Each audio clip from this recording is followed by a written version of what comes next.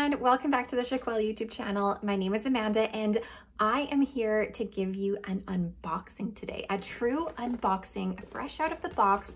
We're gonna be looking at Star Quality by Raquel Welch, and this is in the color SS Vanilla, so it's gonna be a rooted color. But before I do, I wanna remind you to like and subscribe to my YouTube channel so that you can learn about all those wiggy things. Also, before I begin, I wanted to remind you that my previous post, so my previous video I did on Giselle, where I did a review on Giselle, I had a little giveaway going on. So I mentioned that if we reached up to 100 likes, then I'd be going through the comments and giving away a $50 gift card. So if you haven't gone back to check, I have just randomly selected, I kind of like closed my eyes and went, boop, randomly selected two winners for a $50 gift card. So make sure you go back and look to see if I replied to your comment. And congratulations to the two winners. All right, let's carry on and get this show on the road. Okay, so we have, as I mentioned, Star Quality by Raquel Welch in the color SS Vanilla. Now, this is actually a wig that I personally own. I, I don't personally own this one, of course, because it's brand new.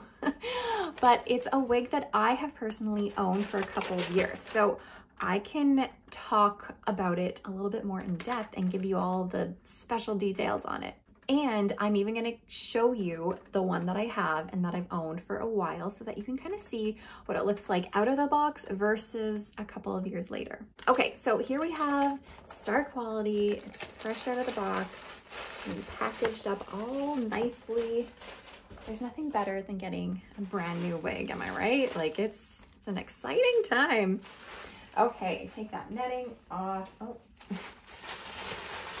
here we go. Okay, the one thing that I can tell you from the get-go about Star Quality is that she is a low density piece. So if you love those low density pieces and you don't like a lot of hair, then she's gonna be a great one for you. She also doesn't have a lot of permatease, if like any. There's almost none. It's like such a tiny little layer that there's almost no permatease. Okay, let me talk about this color quickly. So again, this is SS23. It's a shaded vanilla. So we're gonna have some medium, I would say that they're warm brown roots going on here. They're not that cool. They're, they're fairly warm to neutral brown roots. And then the rest of the wig, it's kind of a nice sandy, light sandy blonde color, and then you're gonna have some platinum all throughout that as well. And of course, I did not go and read what Raquel Welch's description of is of this color. This is just from my own eyeballs. That's what I see. I like telling you guys what I generally see as opposed to what they tell us. So on this particular wig, it does have a good mix of warm and cool. It does not lean yellow. Um, I'm not sure if you see any yellow on the camera, but it does not lean yellow. It's a very nice neutral to cooler blonde shade. All right, let me show you guys inside the cap. So what we have here on Star Quality is gonna be just a temple to temple lace front. It's not gonna be extended, so it just goes to about here. And then we have a left monofilament part. Now, the great thing about temple to temple laces and just left mono parts is that it cuts the cost a little bit. So instead of having a full monotop and an extended lace front, just these features here are gonna bring the price down, yet still give you enough to make it look realistic, which is of course, always nice to have. On the top here, we have some closed wefting. So this just means it's machine sewn into rows. And often there is permatease here. So you're gonna find just a touch of permatease, but like I mentioned earlier, there's really not a lot. This is not gonna be a poofy, big haired wig. All right, we have an open wefted cap, nice and stretchy. We have those velvet ear tabs, nice and comfy. velvet extended nape and some Velcro adjusters here. So this cap, it's a nice cap. There's nothing wrong with this cap. It's just a very standard cap that gives you just enough to look realistic. Okay, I'm gonna put this on for you guys. Okay, here she is. Now, the one thing I can tell you is that sometimes wigs, when you first put them on, they're not gonna look quite right. And sometimes you get a good case of the, the box hair. I feel like I'm having a little bit of box hair going on right now where um, the bangs aren't necessarily sitting where I want them to. They're a little bit like kinky. Um, but that's okay. What I want you guys to know about wigs is that sometimes you need to give them a little bit of love before they're gonna do what you want them to do, especially with synthetics. They kind of take some time to work into, but once you work into it, they're wonderful. Okay, so this is made with synthetic fibers. So if you're new to wigs or if you're new to wearing synthetics, one thing you need to know about them is that they can be a little bit shiny. um, this one is one that is a little bit shiny. Um, I personally find that blonde colors on synthetics tend to look a little bit more shiny than um, darker colors or than like two-toned colors. If you get a color that is just kind of one tone, um, it's gonna look a little bit more glaringly shiny than if it were a couple different colors combined. However, if you do find your synthetic piece to be a little bit too shiny, then you can go ahead and get some dry shampoo, any dry shampoo just at the drugstore, and give it a good dousing. Just spray it all over and it's gonna help dull your shine a little bit. It's not gonna solve all of your problems, but it will solve them a little bit. Okay, so as I mentioned, this density, it's a nice light density. There is not a lot of hair here. Here's my ponytail. It's so cute and thin. There's not a lot of hair here at all. Honestly, this is a very light density wig.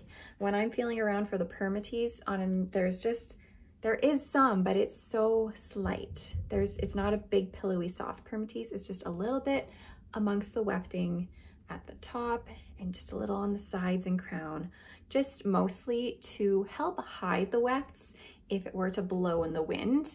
Um, and mostly just because this is such a light density piece. You want that little layer of permatease to help disguise that wefting. Okay, so I was talking a bit about box hair earlier, and I see how this kind of like comes up and down. the bangs are sitting a bit funny. Um, and there's a few little kinks going on. So as I mentioned, over time, this is gonna relax a bit. Um, what I would suggest is if you are planning on keeping the wig, give it a little bath, stick it in some cool water, let it sit there, let it soak, and then take it out, pat it dry, and just let it hang to dry for a little bit and it's gonna freshen it up a little bit and make it more easy to work with. All right, but the style is really versatile. We have these bangs here. Now these bangs, you can either bring them forward like this, you can do a straight bang. Um, it might be a bit long for you, so you could cut them, of course, or you can have them sweep to the side. And they're easily swept to the side because there is this left part here. Now, of course, as I mentioned, because this is a new wig, it's not gonna do what I want it to do yet. These bangs don't really wanna go where I want them to go. They're, they're kind of fighting me. So give it some time. Since this is a synthetic piece, you can't use any heat on it. So no flat irons, no curling irons, no um, anything really, but what you can use is wet heat. So something like a fabric steamer is gonna be your best friend when it comes to synthetic pieces. A fabric steamer is gonna be really good for training your hair at the root to go in the direction you want it to go. So for example, if these bangs want to be swept more to the side, I would suggest you take your weight or your fibers, clip them up, and then take your fabric steamer and steam just at the root and let it cool dry. Do not do this with it on your head because you will burn your head.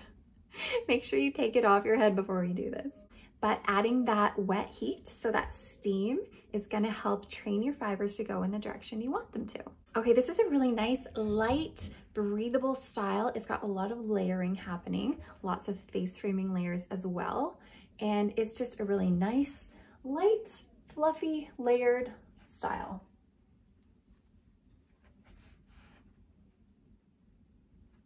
Let me give you a peek at this lace front. So again, it is just temple to temple. I do find that the knotting on this one, um, they seem to be a little bit bigger than um, some other Raquel Welch ones, but I don't mind it too much because there is this bang here um, that covers all of that lace anyways. Okay, and let's take a peek at that left monofilament part. So you have about an inch to play with here where you can part in that space. So I'm coming up nice and close here. I'm trying to see where I am, making sure I'm in the picture. All right, one thing I would say about this is that these fibers are really soft. I really like the feel of them. Okay, now I was mentioning about synthetic hair and that it is gonna look shinier than any other fibers like heat defiant fibers or like human hair, of course. So it is gonna be shiny looking, especially straight out of the box. Because when you get it out of the box, it's gonna come with a nice sort of silicone coating on it that's gonna help give it that new out of the box feel and it's gonna give it that extra shine. However, know that over time, that shine is going to start to dull as you wear it and as you wash it. So in order to show that to you guys, I'm gonna show you my star quality that I've had for almost two years now. This is in almost the same color. This is the unrooted version of SS Vanilla. This is just glazed vanilla. Now, I don't know if you can tell, but my personal one is a lot less shiny than the one on my head. I'm gonna take this off and show you what she might look like over time. So I have actually done something to her. Um, I know previously I was talking about um, using a steamer. Now a steamer is gonna be your best friend for plain synthetic wigs because it's gonna help take out any frizz that you have with your wig. So over time, synthetic wigs are gonna start frizzing up at the ends and feeling dry and frazzly and ugh, yucky.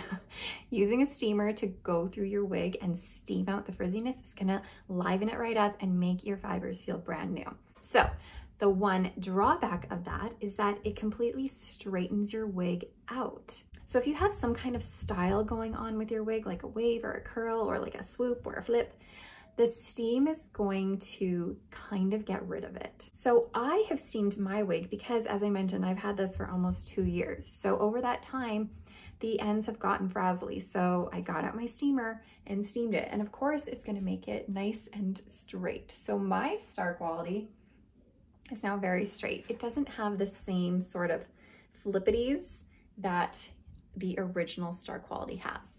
However, maybe this shows you that it can be a piece that will last you a little bit because it is a straight piece that makes it versatile to be able to do something like steam it without ruining it too much.